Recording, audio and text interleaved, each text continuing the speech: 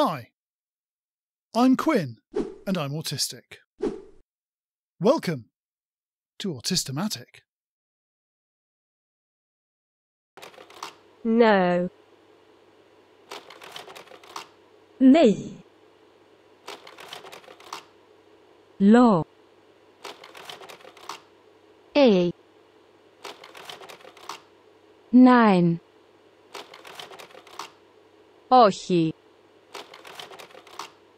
Non.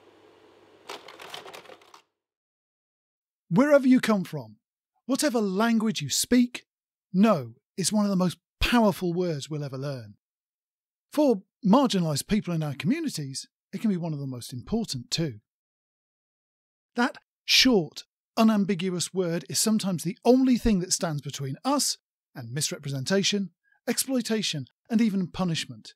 Yet, despite its lack of ambiguity, it's a word that's misunderstood, ignored, or put into our mouths more perhaps than any other. Today, I want to talk about something that's been a hot button topic in autism related academia for some time. Something which has that punchy little word right at its centre pathological demand avoidance. Some of the exchanges between academics on the subject have been colourful, shall we say. There seems to be a tacit acceptance of PDA's existence, but where to place it? Some are adamant that it's a trait specific to autistic people and even suggestions it should be part of the diagnostic criteria. So, what does it mean? Demand avoidance isn't a difficult phrase to digest. It describes a behaviour. When a demand is made of someone who is demand avoidant, they're observed to avoid it. Whether we outright refuse, prevaricate, ask questions, or simply don't do what's been asked of us, it fits into the demand avoidance criteria. Now, the possibility that someone might refuse or not follow through on demands is something we have to be aware of with everyone, autistic or not. And I'm quite happy to accept that it might be more common amongst autistic people than in neurotypical folks. It's the first part of the phrase that sticks in so many autistic crawls. When we describe a behaviour as pathological, we're suggesting it's a compulsive or obsessive need to act in a specific manner. It's a biological or psychological need about which we have little or no choice, an addiction of sorts. In the case of PDA, it's an addiction to saying no. We all know the stereotype of the pathological liar who lies by reflex, even when those lies contradict each other or harm them personally. And the pathological thief who steals things they neither want nor need because they feel a need to steal. So, if our avoidance of demands is pathological, then it's because there's a disease or fault in our psychological makeup forcing us to do so. The PDA concept fits in quite nicely with the autism stereotypes of old. We've long been painted as antisocial loners who can't appreciate the feelings and needs of others, so when we appear unwilling to follow instruction, it's effortless to bundle it together as another symptom or expression of our dysfunctional autistic nature. The term demand in this context is quite flexible too. When I hear the word demand, I'm more likely to think of orders barked out by a cigar chomping sergeant or a threatening letter from a creditor than I am a polite request. But in the context of PDA, a demand can be any instruction delivered in any manner. Whether the request is made in a friendly way, matter of factly, or aggressively, it's still a demand. And whether we say that demand exceeded someone's tolerance or make allowances for circumstance, the expected response from someone who's pathologically demand avoidant is no. Well, today I'd like to say no. No to the current narrative around pathological demand avoidance and the dangerous road it leads us down. Now, before I go any further, I'm not saying that PDA doesn't exist. We share this planet with 8 billion other people. So, if nothing else, the balance of probabilities amongst the incredible variety of thought and expression in humanity mean it's completely feasible that people exist who genuinely feel a compelling need to refuse any request or demand made of them, and some of them will be autistic. What I am saying, though, is that much of what has been described as pathological demand avoidance in the past is often nothing of the sort, and I'd like to explain why. A person who either refuses or fails to carry out everything they're asked or told to do can be very frustrating to those around them, but can also be very limiting to the individual at the centre of the situation, too. Someone who is genuinely, pathologically driven to refuse or avoid demands is unlikely to hold down paid employment or run a business. It would complicate their interactions with just about everyone they meet and make life almost impossible to lead independently. But there are millions of autistic people, diagnosed, self identified, and those still in the dark, who do lead independent lives, though. We have jobs, families, social structures, and responsibilities, and we manage, to the best of our ability, to function in an often hostile world. Yet now, some of us are finding ourselves encountering talk of PDA in the workplace or in education. That's a danger to all of us. The first time I came across such a story, it chilled me to the bone. But as more started crossing my path and having spoken to a number of people who've encountered difficulties thanks to such talk, I realised that we're facing a new threat in the public perception of autistic people. It's yet another medicalised description of autistic thought and motivation that's been entirely constructed from the views and feelings of people who find neurodivergent differences inconvenient, and it's already causing mischief in the real world. As if we didn't already have enough damaging, out of date theories and stereotypes to battle with, now we have to add an irrational need to refuse requests into the mix too. Now, because I'm autistic and most of the people I've spoken to on this subject are as well, I'm going to use language that reflects that. But everything we'll be discussing can apply to anyone who is or is perceived to be demand avoidant, whatever their neurodivergence or even if they're neurotypical. Sometimes what is seen as PDA is simply a communication problem. This is something I've had plenty of personal experience of myself. A demand or request is made, but my response is at odds with what the person making the demand expects or wants. Just like the double empathy problem, the person making the demand doesn't understand any response that doesn't match with their expectations, causing dissonance. Often the request that's made isn't clear to me, so I'll ask questions to clarify. I've been at the wrong end of so many misunderstandings in my past, I'm wary of following an instruction until I'm certain of what's expected of me. So instead of leaping into action, I probe further. Even though we're speaking the same verbal language, the meaning of our words in their context don't always get across. What may seem obvious to me may not be so clear to a non autistic person, and vice versa. They may think their request is unambiguous and requires no clarification, but to me it's unclear, incomplete, or even self defeating. So I ask for more information. I'm not refusing to cooperate or even prevaricating. I'm missing information either about what you want me to do, how you want me to do it, or what the end goal we are aiming for is. So I ask questions until I'm happy that I understand. But I rarely get all the answers I need before people lose their patience. Trooper, the kitchen on this rebel vessel displeases me. Sort it out. Sir, could you be more specific? I'm not sure what you want me to do. I mean, there's a lot needs doing. Where do you want me to start? You are part of the Domestic Alliance and a caterer. Well, if you just tell me what you want me to do first. I will not repeat myself, Trooper. Sort out that kitchen or you will feel the true power of the dark side. And no disintegrations. Is that demand avoidance? I don't think so, but I've been repeatedly told that it is. I understand that to neurotypical minds the request may be as obvious as the speaker thinks it is, but it might not be for me. Treating my questions as hostility or unwillingness doesn't answer them, and certainly won't increase my confidence in trying to carry out your instructions. If your request is ambiguous to me, I will always ask for clarity in the hope of matching your expectations.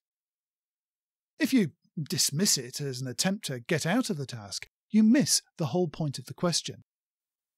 I want you to be happy with what I do for you, but I need more information to do that. If you don't answer me or get annoyed, then I'll stay in the dark and I will make mistakes. Why is there no clean cup for my afternoon tea? Why have the dishes not been washed? I'm sorry, sir. I didn't realize you wanted that done first. I find your lack of cooperation disturbing. I ordered you to sort the kitchen out. But I have been. I emptied out the garbage, scrubbed the cooker, and cleared out the cupboards. I've thrown out all the expired tins and arranged the rest in date order. Enough. I've. Tidying does not concern me, Trooper. I want a cup of tea, not excuses. But, sir, I. You have failed me for the last time. When I've miscalculated, like Trooper Gary there, I'm usually told that I'm being silly, childish, deliberately misunderstanding, being contrarian, or lazy. Nobody cares that I may have expended far more effort reorganising everything than I would have just washing a few dishes. All that is seen is my lack of compliance with the instruction. There's numerous circumstances where communication differences might lead people to believe we may be avoiding an instruction when we're doing nothing of the sort. It's very common for us to need clarity, and plenty of situations arise where we might misunderstand. But communication can also be a problem in situations where we are avoiding a demand too. What if we're asked to do something which sets our senses on fire, or something morally unjustified? Sometimes we're asked to do things which have consequences the speaker hasn't considered, or they're impractical, even sometimes just nonsensical.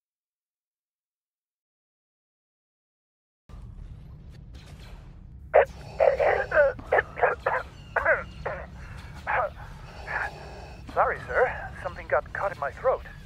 Do you want me to wash the dishes now, then? Yes. After you have put everything back as it was before. But that would mean putting the garbage back in the bins and making the cupboards untidy again. Don't be too proud of this organizational terror you've constructed. The ability to tidy a kitchen is insignificant next to my need for refreshment. So, let me get this clear. I'm to wash the dishes so you have a clean cup and then mess up the kitchen. That doesn't make sense, sir. I'm altering the deal. Pray I don't alter it any further. Being unwilling to do something because the person issuing the instruction hasn't thought it through is far from pathological. It's rational demand avoidance. We might try to argue the point in the hope people will see sense, but all too often we fail. Our neurodivergent brains don't necessarily see the same benefits as you do, and will often see connections that neurotypical people don't. When we voice our concern, you might take it as a signal of refusal or that we doubt your intentions, and if you weren't dealing with an autist, you may be right. But our comments and questions reflect a rational and thoughtful consideration we feel should be taken into account, and ignoring those concerns won't make them any less important. Of course, those same differences in communication and mental processing might mean it's us who are missing something. We might be worrying about nothing, oversensitive to some part of the request, or just unaware of information that might shift our perspective. Whichever the case, all it takes is a little constructive dialogue to agree a mutually acceptable way forward. Of course, the communication issues become even deeper when we consider those of us who are non speaking, whether ongoing or situational. Even if we have alternative communication methods available to us, we may find it difficult to convey our feelings, our reservations, and our concerns. And what about those of us who simply get tongue tied when trying to advocate for ourselves? Communication is a two way street, and neither side should give up just because it's slow, difficult, or confusing. It takes effort from both sides to have a prosperous exchange, and that means that the party making the request has a duty to ensure their demand is clear and worthwhile, however long it takes. Beyond miscommunication, though, there are many reasons why we may be genuinely reluctant or unable to do what we've been asked that won't be immediately obvious, even to other autists. It's rare you'll find an autist of any age who hasn't experienced a degree of unavoidable trauma in their lives, and the older we get, especially if we've remained unidentified, that trauma deepens as the same mistakes get repeated over and over again. There's a long list of reasons why we may hesitate or have difficulty cooperating. Stacked demands, or a list of instructions, may be problematic, even when they're written down. Do we do the tasks in the order they're given, or is there an unspoken priority? Will we get into trouble for picking the hardest one first so we take a long time to get round to the other jobs? Or do the easiest task first and risk being called lazy? Just trying to work it out is a mental minefield where a single wrong step could spell disaster. Rejection sensitivity might lead someone to be demand avoidant. Their anxiety at being told their efforts aren't up to snuff can be enough to freeze someone who's rejection sensitive in their tracks as they hurriedly try to work out which will be the least traumatic course of action. If they don't comply, they'll likely suffer some form of consequence. But will it be worse than being bawled out for doing the task badly? PTSD is far more common in autistic people than most people realise, and it can also have a huge impact on how we react to certain requests, maybe even all requests. And of course, there's executive function to consider. Most autists will, at least at some point in their lives, encounter difficulties with motivating ourselves to do basic tasks, even self care.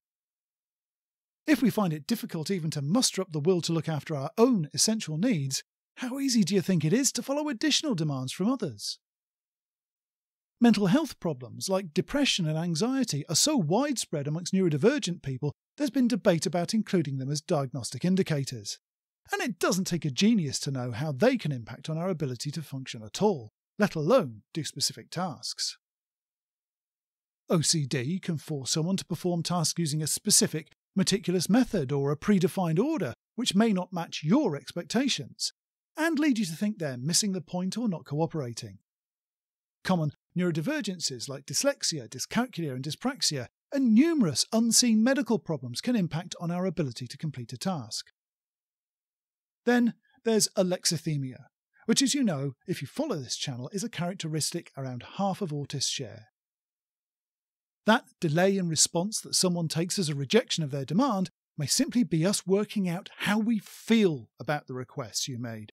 And even if we're not alexithymic, what about simple processing time? It's not exactly unusual for us to take much longer than expected just to reconcile all the mixed messages encoded into verbal and non-verbal communication to even know what's being asked of us. The problem with the current debate around PDA is that it's based on a false premise. It would be ridiculous to say that a pathological need to avoid demands can't or doesn't exist. Name any behaviour or activity, even those which aren't seen as in any way harmful or problematic, and there will be people who feel an innate compulsion to do it, even against their own interests. Every addict is battling with a pathological need of some variety. Every phobia is an irrational fear, and PDA is a real thing without doubt. But how common is it? Following my own conversations with people whose lives have been blighted with the PDA label, I have my doubts that it's anywhere near as common as its proponents think, and even less confidence that it's worthy of inclusion in any diagnostic procedure. I have no personal objection to research into pathological demand avoidance whatsoever, but I can't support it in its current state. Before we jump to the conclusion that someone has a compelling pathological need to refuse cooperation, we have to eliminate all the possibilities mentioned earlier and plenty of others that I couldn't fit into a half hour YouTube video. Are they demand avoidant? Or are they asking questions the other party doesn't want to answer, can't answer, or can't be bothered to answer? Are both parties understanding the instruction in the same way, and all objectives made clear? Does the request clash with specific sensory differences, moral understandings, or could it do unintentional harm? PDA is just too convenient a rug to brush genuine concerns and trauma under.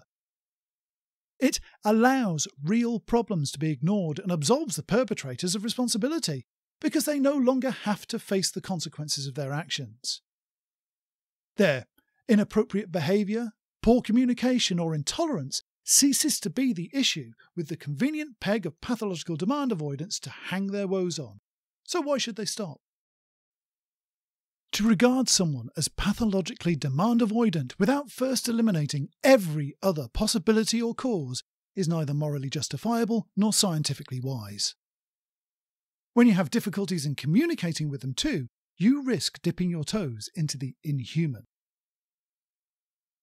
In years gone by, we saw talk amongst the noblest of academics of personality traits having a male or female bias, so they could promote autism as a brand of hypermasculinity, the extreme male brain, then wondering for years why so few girls and women were being diagnosed.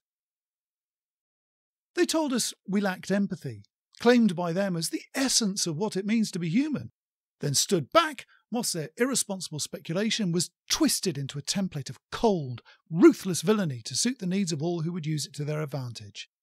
From the crooked boss to the resentful partner, right up to the prosecutor in the criminal court. Now we have PDA, pathological demand avoidance, and the dangers are plain to see. So why isn't any attention being paid? The moment you put the idea of PDA into the hands of the wrong people, and believe me, wherever there's self preservation or money, position, lust, personal favour, even just popularity at stake, an awful lot of people become the wrong people. When they get hold of PDA, you are opening up an already vulnerable and marginalised group to a whole new arena of abuse beyond any we've known before. When you allow our doubts, our concerns, even our nightmares to be dismissed as a symptom of a medical condition to be cured, you take away our right to say no. You rob us of our agency and of our dignity. If we can't say no, we can't protect ourselves. In an age of increasing misogyny, how will a female autist ever feel safe when a predatory male can dismiss their protests as demand avoidance in the full knowledge that there's a bevy of autism experts willing to back them up in court? We're robbed of the ability to agree or disagree, consent or decline, trust or be trusted. The right to say no is the most fundamental of all human rights, for without no, we have nothing. PDA is a buzzword seeking a home. A neat concept looking for enough traction to finance a few lucrative research careers. And it's easy to see why it's been shoveled into the ever deepening pit of possible symptoms of autism, because it dovetails nicely with the existing tranche of inaccurate and misleading interpretations of autistic minds. If we really were the insensitive, empathy free, big picture missing, and emotionally dead creatures we're painted to be, it would slot in place neatly. But that's not who we are. We are thinking, feeling human beings, trying our best to fit into a world that doesn't accommodate us. Every day of our lives, we're fighting against misunderstandings, harmful assumptions, and the insidious influence of prestigious yet ill informed experts making our daily lives ever harder with their latest theory du jour. We really don't need another. Thank you for watching. This video has been on the cards for a long time and required a mountain of research and discussion with other autists to bring it together. Thanks to everyone who contributed, either directly or by creating the materials I used to learn more about this controversial topic. It's a bit longer than my usual content, but I hope you found it enjoyable and informative. Because life is still more complicated round here lately, I'm going to be making more of these longer form videos for a while. So if there are any topics you'd like to see me cover, please let me know in the comments. I can't promise to take on every subject, but everything gets considered. Finally, a big thank you to all the patrons who've stuck with me through what's been a very difficult stage of my life, and the many, many people who've opened their hearts and shared their experiences to make this channel possible. See you soon.